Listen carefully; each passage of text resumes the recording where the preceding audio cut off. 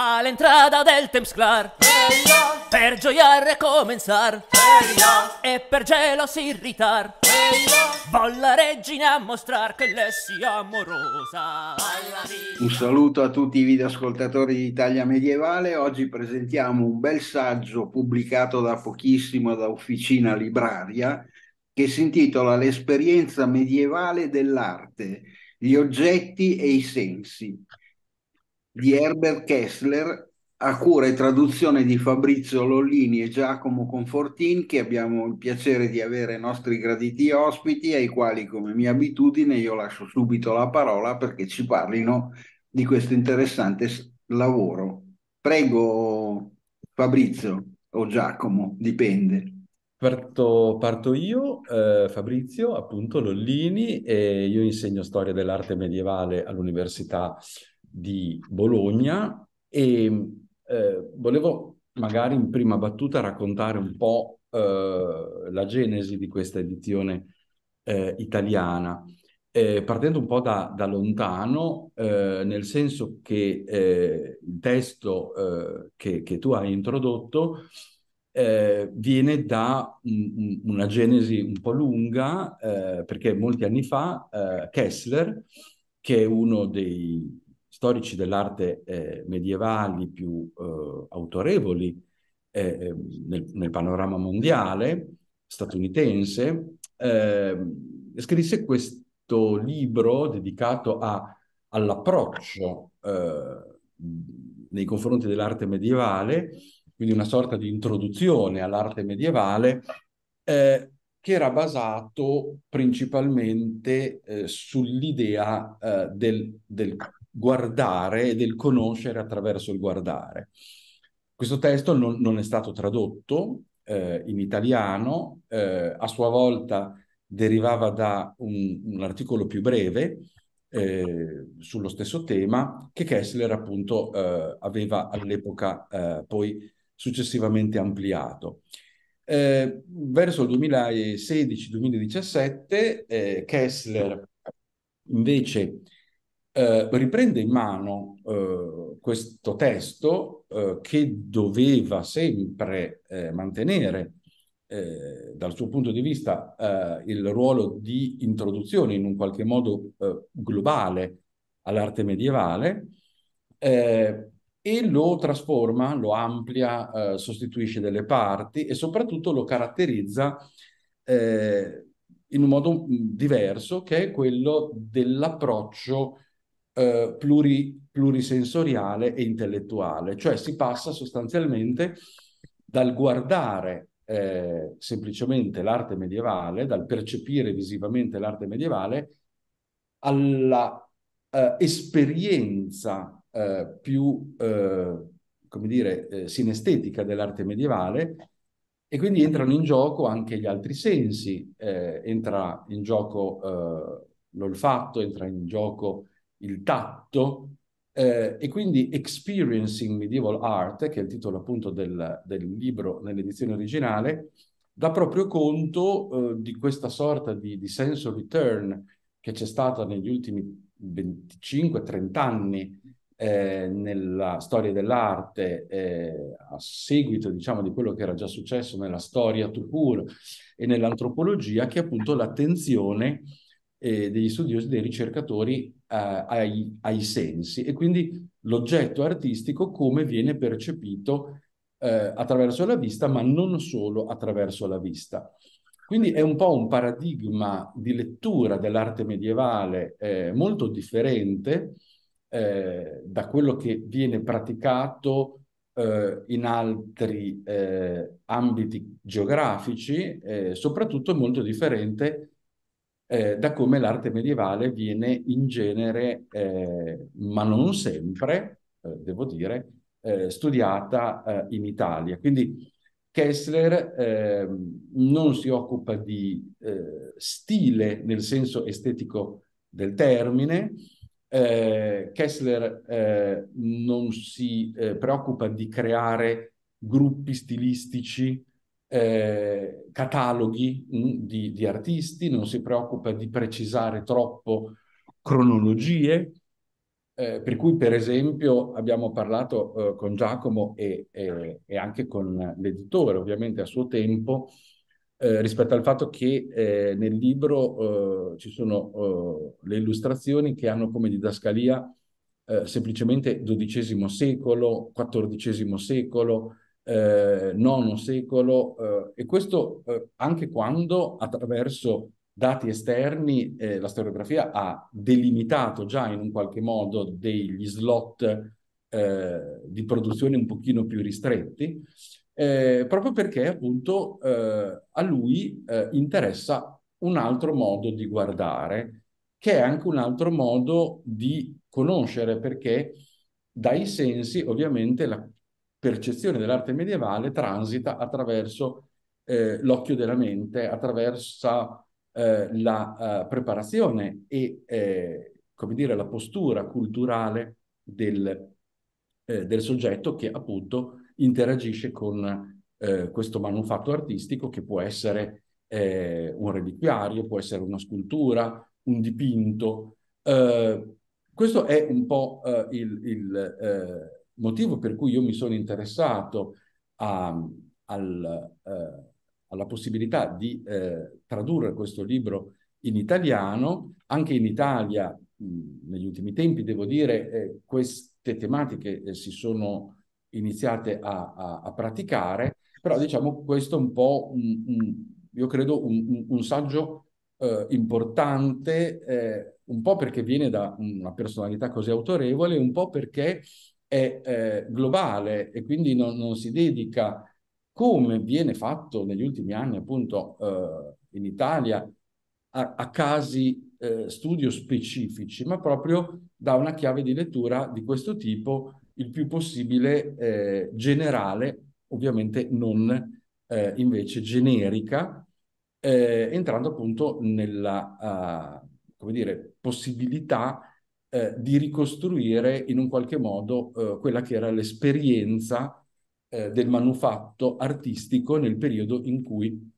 veniva prodotto, ma anche, eh, e questo eh, è molto importante, magari eh, Giacomo poi dirà qualcosa, eh, nei secoli successivi mh, hm, alla sua produzione, che è una eh, tematica che a noi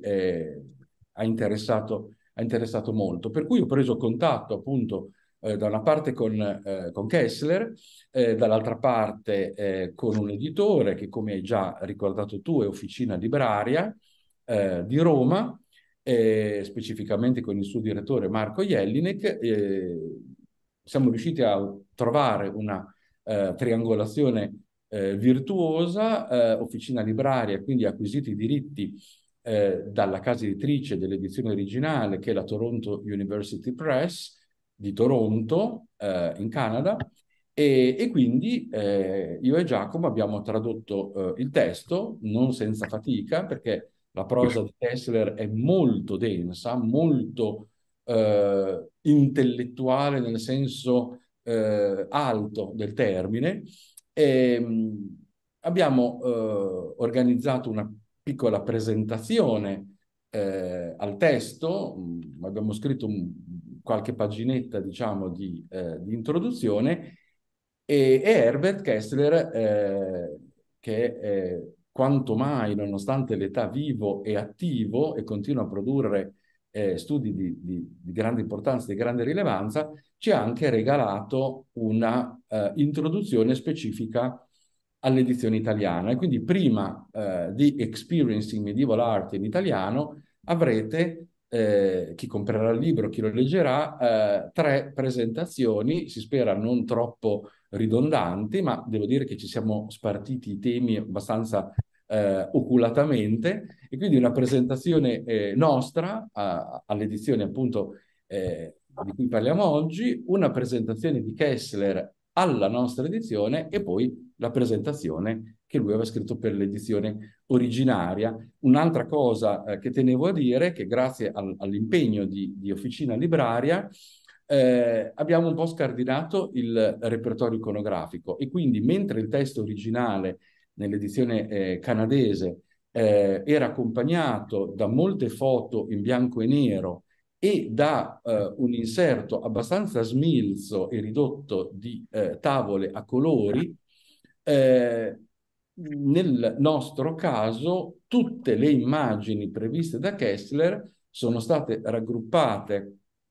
in due fascicoli ampi e vengono presentate tutte a colori e quasi tutte a piena pagina. E quindi il lavoro di analisi eh, di Kessler, eh, molto dettagliato e molto puntuale in certi punti, in certi momenti, eh, si può giovare nella nostra edizione anche di, di, di un corredo visivo, eh, come dire, di, di, un certo rilievo e, e, e, di, un certo, e di un certo impegno. Ehm,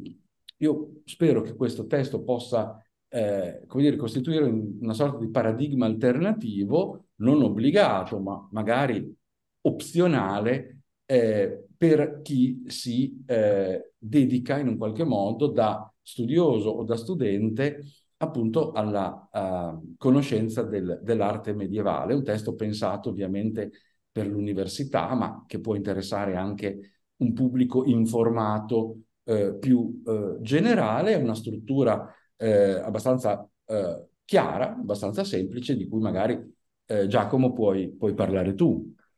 Mm-hmm. Beh, buongiorno, mi chiamo Giacomo e mi sono laureato a Bologna con il professor Lollini e, sono, e la magistrale l'ho fatta invece a Venezia dove la proposta di questa felice impresa mi ha raggiunto e cioè, almeno è stata felice questa traduzione per, per noi che ne siamo gli artefici e speriamo lo sia anche per, per, questo, per questo pubblico eh, italiano di Kessler. E io volevo tornare un attimo al sottotitolo che, è su, che, che pure ha una storia, si lega alla a questa specie, specie di Festschrift, questi studi in onore che hanno eh, dedicato a Kessler a Brno, il centro eh, di studi sulla, sulla, prima arte medievale di Ivan Foletti, e appunto si chiamava Gli oggetti oltre i sensi, questa, questa pubblicazione che a Kessler era dedicata. Noi abbiamo aggiunto il sottotitolo di Gli oggetti e i sensi, che sono i, i veri protagonisti di tutta, di tutta questa trattazione. E eh, gli oggetti si capisce benissimo cosa siano sfogliando queste 81 illustrazioni a colori, sono ver- è veramente il saggio migliore di- della varietà di questa produzione artistica medievale che Kessler ri- rivendica per centrale, anche se spesso in Italia, soprattutto in Italia, sono ancora le cosiddette arti maggiori che sono, che sono più considerate e proposte anche nei, nei corsi universitari. E- ed è interessante però vedere la definizione che Kessler dà di oggetti eh, all'inizio, nella prefazione originale, perché li qualifica come eh, qualcosa che sia al centro, ma anche come della produzione materiale medievale, ma anche come qualcosa che ha delle entità che poteva essere, eh, potevano essere trafugate, trasportate, scambiate, conformate a nuovi contesti spaziali, rimosse, potevano essere reimpiegate, eccetera. Quindi è, è interessante questa definizione negativa, no? Questa definizione molto fluida e ampia, e alla fine si, si vede, fin dall'inizio della trattazione, che è inutile mh, tentare una definizione univoca. Oggetto per Kessler è sia il pavimento di Westminster cosmatesco che abbiamo visto adesso durante la, l'incoronazione di Carlo III, eh, lo è pure la, la croce di Rosano, che è una, in un monastero molto più, molto più dimesso vicino a Pontassieve, no? eh, vicino a Firenze, ma è anche eh, il, il, set ricchissimo degli Avori di Salerno, a cui Kessler ha dedicato, continua a dedicare una, un sacco di attenzione critica. Quindi eh, convivono entità materiche molto differenti. Quello che le unisce è il secondo termine del sottotitolo, ovvero i sensi, cioè questa questo trend, chiamiamolo così, ma che in realtà ha corso da decenni nella storia dell'arte medievale, eh, c'è questo controcampo, eh, si inquadra non soltanto eh, l'oggetto in sé, la pittura, l'architettura e la scultura, ma anche chi eh, ne fruiva visivamente, sensorialmente, ovvero il pubblico. Il, questo controcampo è, è semplicemente un girare la camera e vedere eh, le comunità sensoriali, come a dire questo questo studioso molto citato da Kessler, che è Richard Neuhauser, eh, che si occupa di storia dei sensi, appunto, queste comunità sensoriali che dagli oggetti stessi erano strutturate attraverso i tempi della storia dell'arte medievale. E, mh, il, l'indice è molto autoesplicativo e, è molto bello perché tematico, non cronologico, una, una trattazione cronologica sarebbe stata impossibile in, questa, in questo labirinto diffuso di, di rimandi. Gli oggetti tornano anche decine di volte, ma sempre sotto luci differenti, perché Kessler li, richia- li presenta tutti in modo molto chiaro eh, lungo la trattazione e poi li richiama per i suoi fini specifici. E, mh, leggo velocemente l'indice, sono, i titoli, sono, i capitoli sono nove, e sono oggetto, e appunto introduttivo,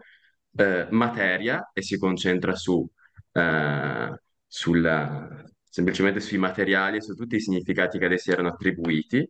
creazione, che tratta un tema molto spinoso, eh, ovvero la- la- lo statuto di artista durante i secoli medievali, eh, tra le altre cose, spiritu, spirito, e, eh, e qui, eh, e qui è veramente, questo è un capitolo veramente utile per capire la, la pluralità dei modi in cui la significazione di un oggetto poteva avvenire. La tipologia è, questa, è questo parallelo che si compie tra una citazione biblica e, una- e un oggetto eh, creato nel Medioevo che ha che a questo archetipo biblico si connette ed è una modalità di significazione molto molto molto ricorrente che Kessler eh, illumina sotto un- una luce, una luce nuova, possiamo dire. Il, il capitolo quinto è libro, e di questo forse, su questo forse dirà una parola il professor Lollini. Il sesto è chiesa, il set primario di tutto quanto il discorso svolto nella- nell'esperienza medievale dell'arte. Il settimo è vita e morte, e, eh, e qui eh, si va dalla, eh, dal, dal ruolo giocato dalla memoria dell'antichità nella creazione dell'arte medievale fino a- all'immissione della realtà quotidiana, nella- eh, di questo realismo, di questa soggettività che emerge nel- nelle arti figurative del 2 e del 300. Eh, l'ottavo è performance e il nono è soggetto. Soggetto chiaramente chiude il cerchio aperto del capitolo oggetto ed è, ed è uno dei capitoli più interessanti. E quello forse col titolo meno trasparente, perché sotto a soggetto si, si raccolgono delle riflessioni inedite rispetto alla prima versione di questo libro. Passerei la parola al professor Lollini per eh, un insight, forse dentro a... Sì, perché ehm, non so se siamo riusciti eh, in questi minuti a, a raccontare un po' che cosa c'è, se posso usare eh, una, una definizione un, po', un po', un po' greve, dentro a, a- a questo libro. Ehm, forse appunto, come diceva Giacomo, ha, ha senso eh, fare, fare qualche esempio.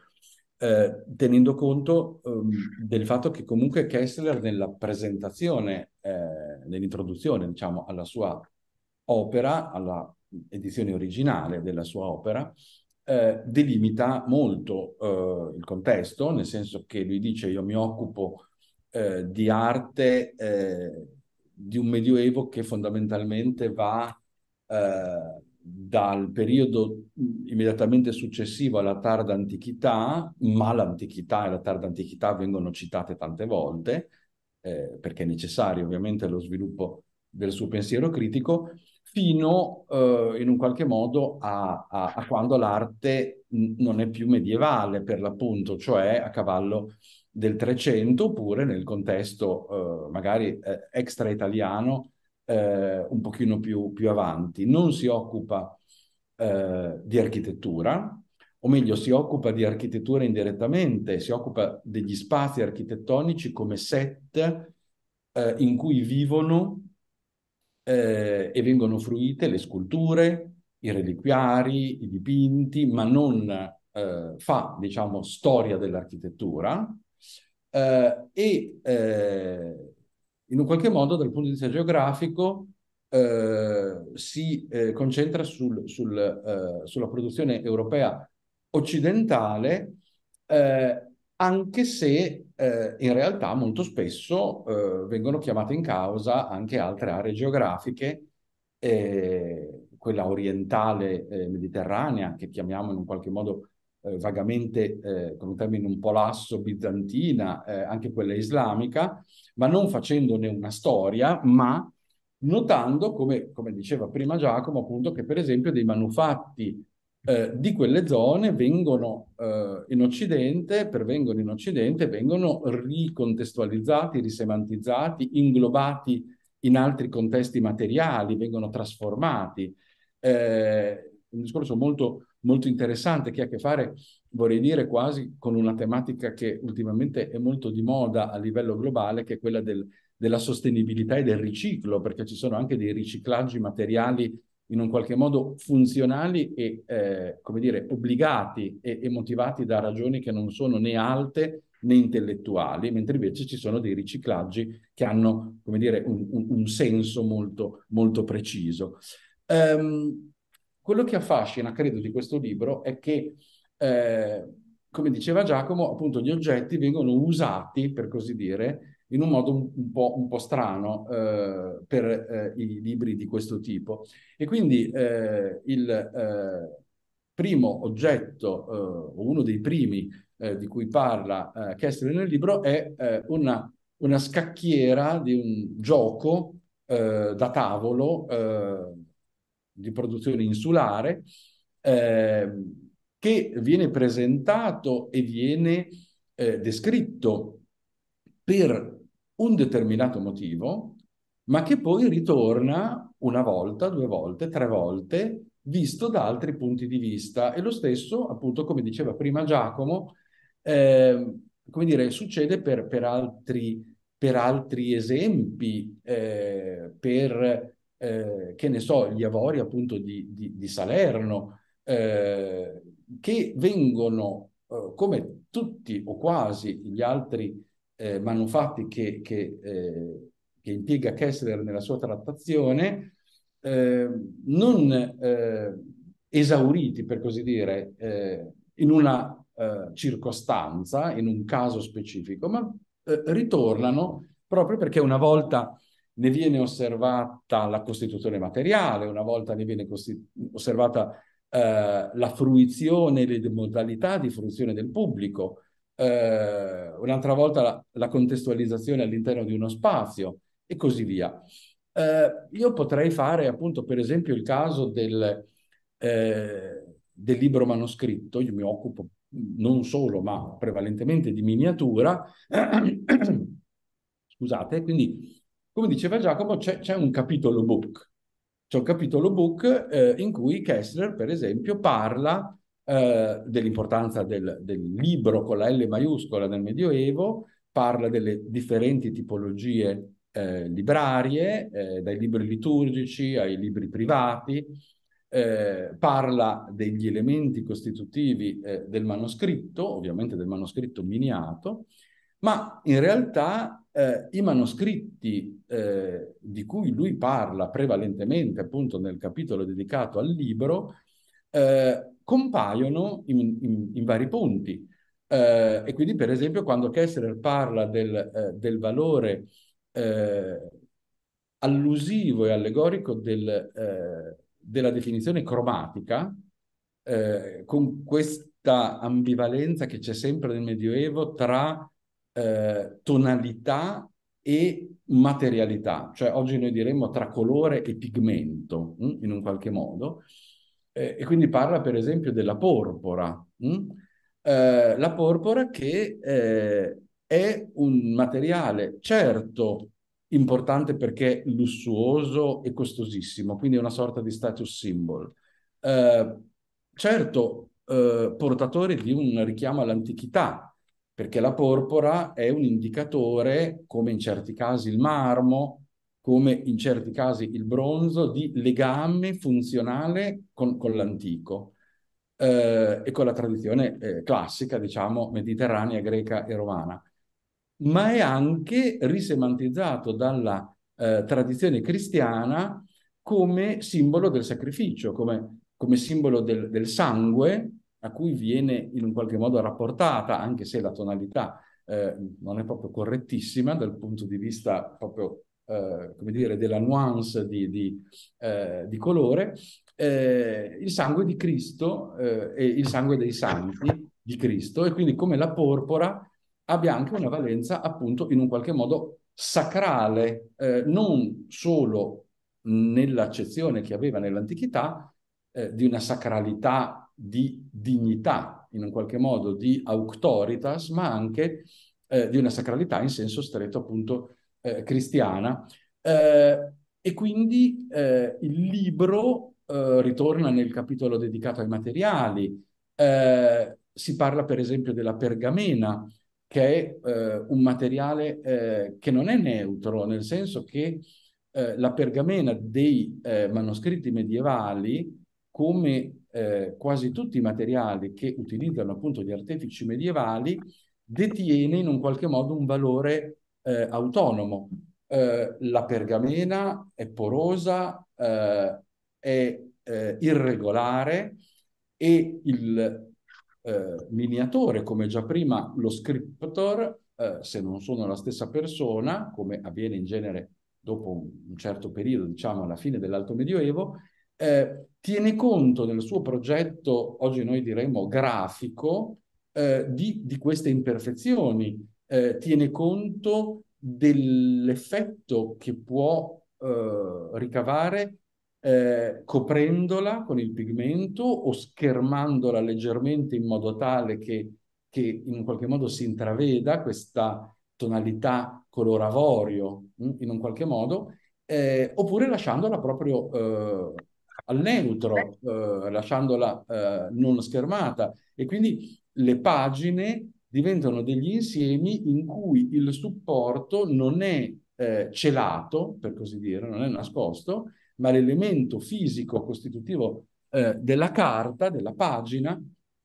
la pergamena appunto, in un qualche modo viene fuori, viene fuori in, in, in, in modi diversi. Eh, ma il manoscritto, il libro, viene fuori anche in altri punti del libro. Quando per esempio si parla di performance, eh, si parla di come venivano usati i manoscritti, soprattutto i manoscritti liturgici, e quindi eh, queste sorte di, di, di, grandi rappresentazioni teatrali che si svolgevano sui pontili delle chiese, sui pulpiti, eh, un, pulpito o un ambone come quello di Enrico II ad Aquisgrana, noi lo leggiamo eh, in rapporto alla spazialità, lo leggiamo in rapporto ai materiali preziosissimi di cui è costituito, ma lo dobbiamo immaginare anche in un qualche modo vissuto quando appunto eh, il libro eh, faceva in un qualche modo, se mi si passa questa esagerazione retorica, risuonare l'ambone. Il libro attivava la lettura o il canto eh, del libro, eh, trasformava e dava un nuovo significato eh, allo spazio eh, da cui veniva appunto eh, utilizzato. Eh, ci sono tanti esempi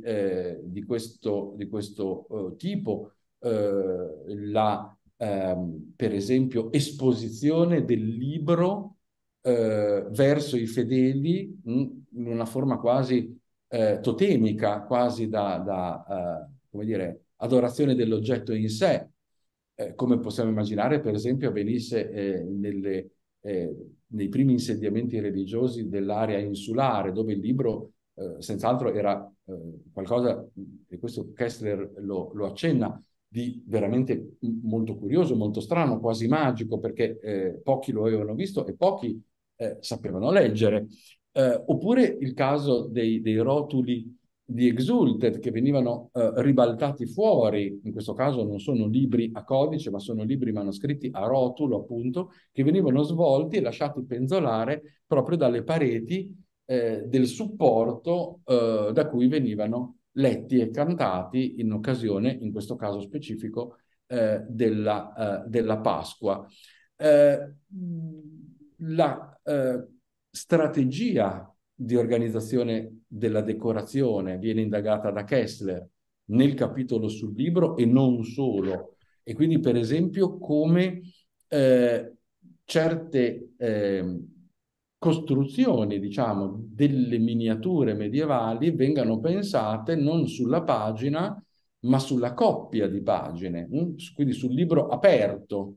come se il libro fosse in un qualche modo un dittico eh, da riempire in una forma, in una forma coerente, fatta di, di eh, eh, accompagnamenti visivi, di, di incroci. Eh, questo è un, è un, discorso molto interessante perché, per esempio,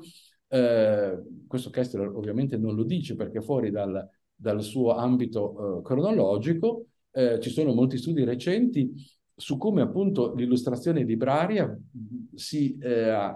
pensata a struttura libraria aperta, quindi a coppia di pagine e non a singola pagina, per esempio nella tarda miniatura della fine del 1400 e soprattutto del 1500, eh, diciamo eh, fino al periodo che noi in genere chiamiamo manierista, eh, quando ovviamente il, il, prototipo di riferimento diventeranno le grandi gallerie da Raffaello in poi eh, dipinte eh, o i cicli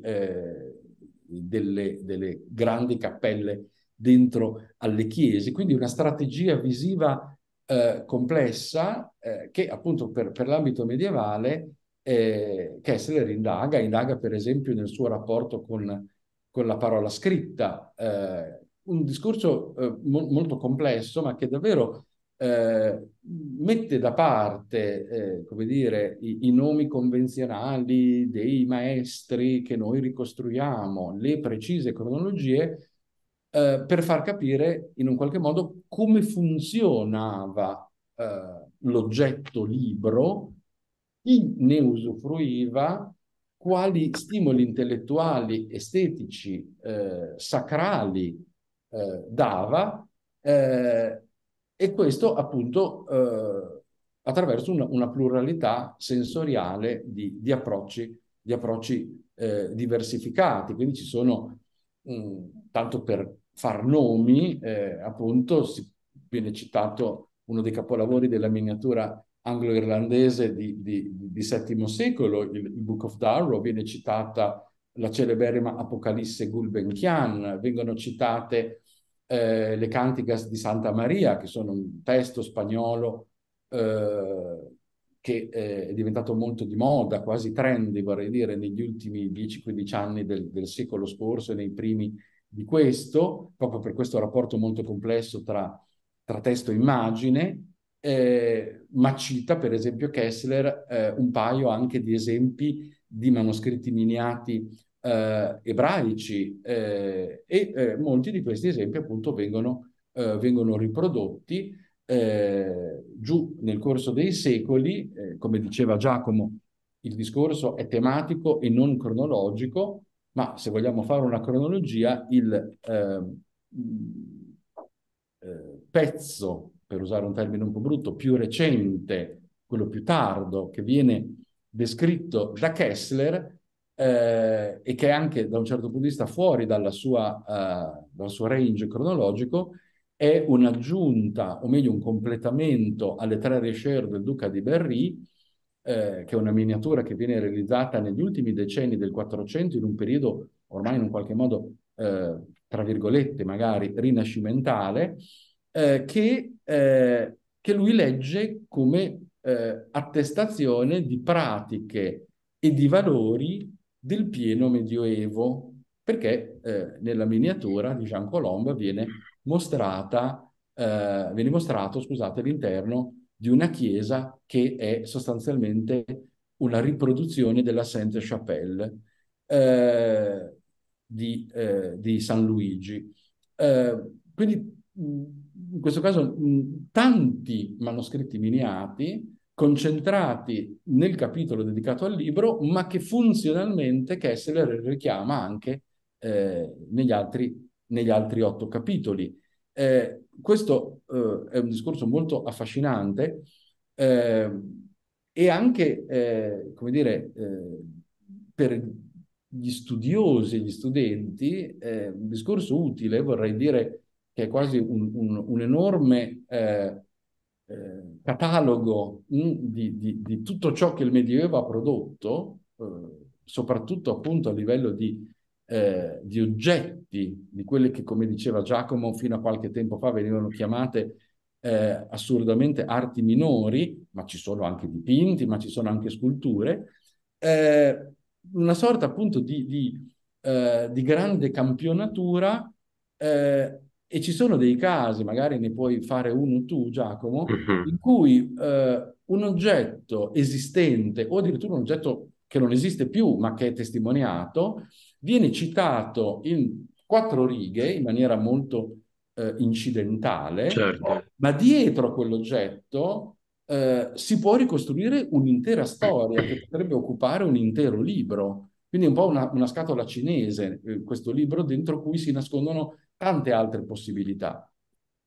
Esatto, questo esempio che anticipava il professore lo menziono dalla fine del libro e dalla fine della cronologia che il libro descrive, se c'è questo, questa, questa grande attenzione critica a- oggi alle pratiche ecologiche dell'arte, chiamiamolo con questo termine anacronistico, eh, nel senso del, del del riuso dei materiali per creare, per creare oggetti diversi da, da- da- da quelli originali per cui quei materiali erano stati destinati. Un altro- un'altra grande attenzione oggi è quella alle immagini che io chiamerei mancanti, distrutte. Si scrivono libri come Politics of Hiding, politiche del nascondere gli oggetti, oppure The Wounded City, le città ferite mh, dai terremoti, dai saccheggi. Quindi sì, c'è questa attenzione paradossale, ma secondo me molto, molto, molto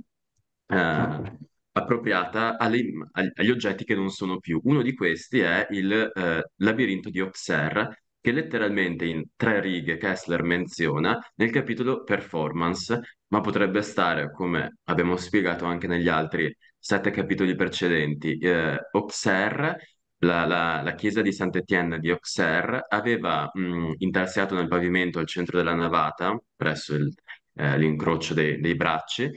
eh, della chiesa questo, questo labirinto sul modello di quello di Song o di Chartres, molto più famoso. Ehm, probabilmente il terminus antequem che abbiamo è la, la metà del 300, ma probabilmente risaliva alla metà del secolo precedente, come quello di Chartres. Sopra questo labirinto, durante la liturgia della Pasqua, veniva performata una danza che Kessler, eh, come dire, di cui Kessler fa un- uno spoiler perché arriva alla conclusione eh, fulminante nel suo stile che porta avanti in questo libro, ovvero richiama un oggetto, lo qualifica in due parole e ne offre l'interpretazione e così accatena tutti quanti gli altri in una- in un dettato anche un pochino vertiginoso ma che può essere veramente messo a frutto. Questo non è un libro che sfoggia erudizione, ma che apre sempre nuovi pensieri. Eh, il pensiero che si può fare su questo labirinto riguarda la danza che menziona Kessler col nome di eh, Pila o Pelot. Speriamo che Fabrizio sia andato via per breve, ma penso di sì. No, no, ci Eh, sono, ci sono. ok, ok, bene. Si chiama Pila o Pelot, questa danza eh, di Auxerre, della Pasquale, eh, che le parole francesi e latina vogliono dire eh, palla, ma anche gomitolo. Questo- il gomitolo del titolo della danza è quello che Arianna avrebbe con- consegnato, secondo il mito, a Teseo per eh, riemergere, riemergere dal labirinto dove, eh, al fondo del quale eh, av- avrebbe sconfitto il Minotauro. Ecco, questa memoria performativa dell'antico a Auxerre nel 2 e nel 300 era eh, rievocata, riattivata durante la liturgia pasquale perché Teseo è una limpidissima figura Christi, eh, Teseo che scende nel, nel labirinto per battere il Minotauro, è, eh, è Cristo che discende eh, ne- negli inferi per riemergere nei cui progenitori e, e risorgere eh, a nuova vita. E, mh, questo è un'interpretazione che lasciatali cadere, appunto è vertiginosa perché implica un, un gran numero di conoscenze, la- la- lascia molti non detti, che però sono colmati da tutte le altre cose che sono dette esplicitamente altrove nel libro. Ad esempio, il labirinto come composizione diagrammatica. I diagrammi sono un'altra grandissima attenzione contemporanea dell'arte, della medievistica. Diagrammi come un design una, eh, un incastro di, di figure geometriche che, dice Kessler, di per sé veicolano concetti. Il labirinto è chiaramente una- uno di questi pezzi di design. Eh, la performance, si parla oggi di ehm, conoscenza visualizzata attraverso il corpo. Ecco, la danza circolare che questi chierici performavano sopra questo labirinto poteva forse rim- eh, visualizzare le teorie neoplatoniche chiamiamole neoplatoniche un termine improprio, Platone si, si conosce nel Medioevo attraverso Calcidio e gli altri commentatori della scuola di Chartres, appunto, o di Auxerre. Eh, la teoria platonica del moto armonico degli astri e dunque i chierici danzanti e che si scambiavano questa palla, questa, eh, questa teoria avrebbero visualizzato. Sono una serie di nozioni, interpretazioni, dati materiali, documenti, citazioni di scrittori medievali che vengono convocati nel libro con grande chiarezza, anche se noi dobbiamo per eh, causa congestione di tempi eh, richiamare così velocemente. Io passerei altrettanto velocemente a spiegare il titolo del libro, per poi passare la parola al professore e chiudere, perché quello originale è Experiencing Medieval Art, che tradotto letteralmente sarebbe fare esperienza dell'arte medievale. Noi invece abbiamo scelto di tradurre il libro di Kessler, l'esperienza medievale dell'arte, anticipando quindi l'aggettivo medievale, non per un mero fatto prosodico di armonia del titolo, ma perché ehm, abbiamo raccolto la proposta, diciamo così, dell'epilogo di Kessler, perché c'è anche un epilogo in questo libro che tratta più che di arte medievale, di arte contemporanea. Kessler ha una tesi molto chiara. Eh, davanti a tante, t- tanti sforzi critici oggi di spiegare la parte del pubblico davanti a quest'arte medievale, restituire l'esperienza di quest'arte dei secoli passati, eh, a restituirla ci sono riusciti talvolta più gli artisti contemporanei dei, eh, dei curatori museali o dei critici. Kessler porta un esempio veramente illuminante. Eh, il titolo è, è blasfemo, non lo citiamo, lo leggete nell'epilogo se volete, eh, di una fotografia di un artista americano degli anni Ottanta eh, che coinvolge questo Cri- Cristo, questa statuetta di Cristo immersa in una, in una materia putrida, molto degradante. E mh, Kessler eh, ha, scop- ha scoperto, o ha semplicemente raccolto, questa dichiarazione dell'artista fatta al Boston Globe che diceva di essere consapevole della- del- del- della- dell'insegnamento del catechismo, secondo il quale, eh, che gli era stato impartito, secondo il quale non è ehm, la divinità che, che i cristiani adorano dentro all'oggetto, è soltanto la sua rappresentazione. Quindi il fatto che un oggetto sia ehm, realizzato in, materia- in materiali poveri o addirittura degradati, come quelli del- della foto in questione di questo Andrés Serrano, ehm, non è blasfemia, è semplicemente un altro modo di materializzare il mistero dell'incarnazione di Cristo che dal, dal cielo è disceso in terra e si è incarnato, no, come la parola del Signore. Ecco, eh, il parallelo di Kessler, ancora una volta vertiginoso, cita Lando di Pietro, questo famoso eh, scultore, architetto medievale, che ehm, inserì in un suo crocefisso per la chiesa di San Bernardino di Siena questa- questo foglio, questa pergamena vergata di suo pugno, dove diceva, dove invocava la benedizione, eh, l'indulgenza per i propri peccati e della propria famiglia, ma esplicitava anche di essere consapevole, questo scultore medievale, che il materiale nel quale aveva formato questo crocefisso, ehm, colpito da una bomba americana, eh, la, testa fe- dalla testa fessa uscì questa pergamena, si rivelò, l- Lando Di Pietro disse, io sono consapevole che eh, il legno con cui ho, ho fatto questo crocefisso non è Cristo, è il, è il medium per il quale lo rendo percepibile ai fedeli. Quindi c'è questa grande divaricazione costante nell'arte medievale. Balderico di Bourgueil, lo scrittore più citato medievale da Kessler, eh, compose questo distico, che divenne anche il titolo di un libro precedente di Kessler, Nec Deus nec Homo, né Dio né l'uomo sono quelli che tu, spettatore medievale, vedi in questa rappresentazione, ma Dio e l'uomo sono quelli che questa immagine rappresenta, cioè io non non è idolatria, il cristiano non adora l'oggetto, adora il suo archetipo celeste, la divinità, il Dio e il Figlio veri, che attraverso la materia dell'oggetto si manifestano al pubblico. Questo è il motivo per cui l'esperienza dell'arte del Medioevo, l'esperienza medievale, può darsi anche nella contemporaneità davanti a una fotografia di Andrés Serrano. Sono parole di Kessler che noi abbiamo semplicemente eh, posto nel titolo e ci sembrava anche una- un omaggio alla grande complessità entusiasmante di questa pubblicazione. Ecco, eh, preciso che quando lo abbiamo intitolato, eh, d'accordo con l'editore, l'esperienza medievale dell'arte e non l'esperienza dell'arte medievale, eh, l'abbiamo chiesto ovviamente a Kessler, eh, questa è la fortuna di eh, tradurre eh, il libro di una persona vivente, eh, attiva e, anche mh, per fare un, un, piccolo gossip, anche mh, con una competenza linguistica sull'italiano mh, imbarazzante, nel senso che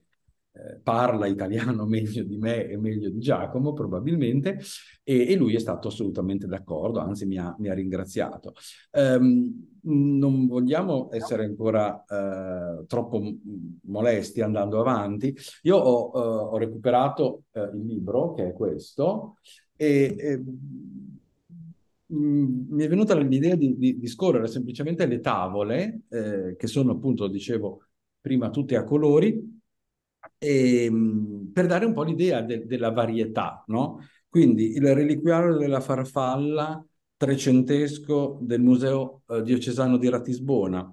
eh, la scacchiera eh, di Ballinderry, mh, mm, che citavo prima, per un gioco da tavolo che si chiama Fidchel, eh, che sta alla uh, National Museum di Dublino del X secolo, un'insegna pellegrinale, un badge, diremmo noi, del, del 300, un lussuosissimo calice eh, della Basilica di Sant'Isidoro a Leone, il calice di Dogna Urraca, il reliquiario di David del Museo di Basilea del 300, eh, citato da me prima Ambone di Enrico II della cattedrale di Aquisgrana, il reliquiario eh, della croce eh, di Zwifalten, ma anche per esempio la celebre Belle Verrière che è una delle eh, vetrate più importanti, eh, costituita da un riciclo di una vetrata precedente ricontestualizzata eh, della cattedrale eh, di Notre Dame a Chartres, eh, ma anche l'insieme del complesso altare, ciborio, pulpito e abside eh, di Sant'Ambrogio a Milano, la custodia di specchio eh, in avorio del Baltimore Walt Arthurs Museum, eh, un manoscritto che non è un codice ma è un documento sciolto, il cartulario di Saint-Martin de Canigou, du Canigou, scusate, eh, del 1195, eh, e poi ancora l'Apocalisse Gulbenkian che ho già citato, il eh, trattato eh, teologico di Teofrido di Echternach, miniato nell'undicesimo secolo, in periodo ottoniano, eh, gli affreschi della Cappella della Vergine della residenza reale ceca Boema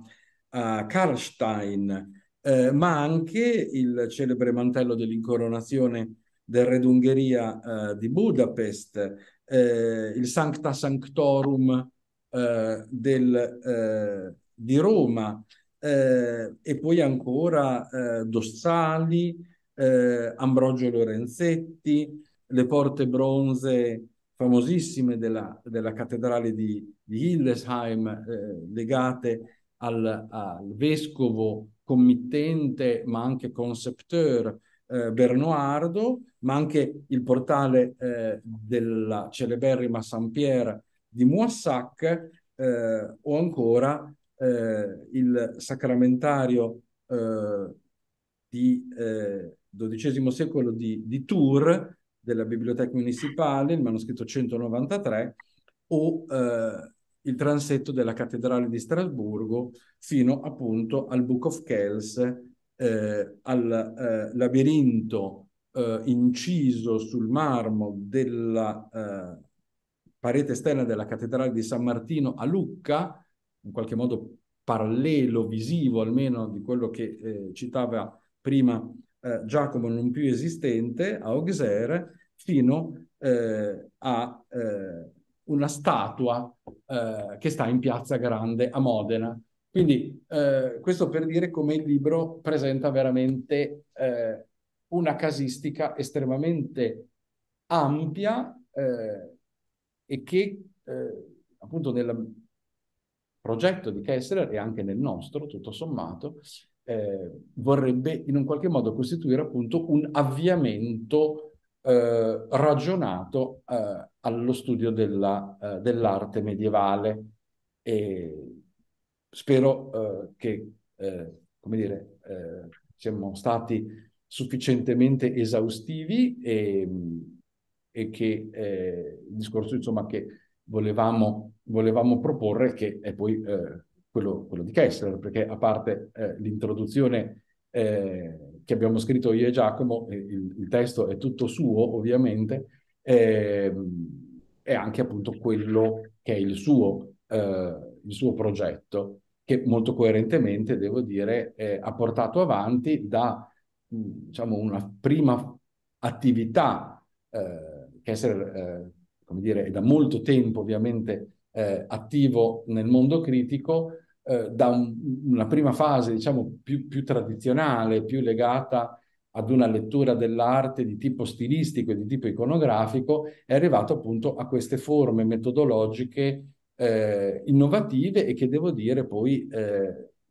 come dire, lo, lo, vedono oggi un po' come un papà, eh, in qualche modo spirituale e non solo spirituale, eh, di tanti questi eh, tentativi di esegesi critiche eh, recenti negli ultimi 20 o 30 anni. Questo è un po' eh, il discorso e questo è un po', credo, l'importanza eh, dell'edizione italiana di questo libro. Bene, quindi a questo punto bisogna ricordare il titolo e invitare tutti ad andarsi a comprare il libro. Allora, eh, lo faccio, lo faccio molto volentieri. Eccolo qua, allora eh, lo mostro anche, Herbert Leon Kessler, l'esperienza medievale dell'arte, gli oggetti e i sensi, eh, appunto Officina Libraria, Roma, eh, 2023.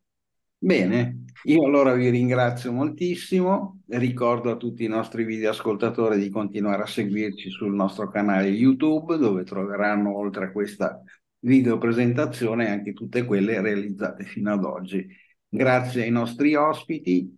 Grazie a lei. Grazie. E complimenti per il lavoro.